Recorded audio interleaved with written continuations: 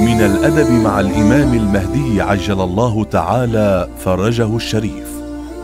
الاستغاثة به عند الشدائد والأهوال وعند وقوع الفتن. ففي الرواية عن الإمام المهدي عجل الله تعالى فرجه قال نحن وإن كنا ناوين بمكاننا النائي عن مساكن الظالمين حسب الذي أراناه الله تعالى من الصلاح ولشيعتنا المؤمنين في ذلك ما دامت دولة الدنيا للفاسقين. فإن نحيط علما بأنبائكم ولا يعزب عنا شيء من أخباركم.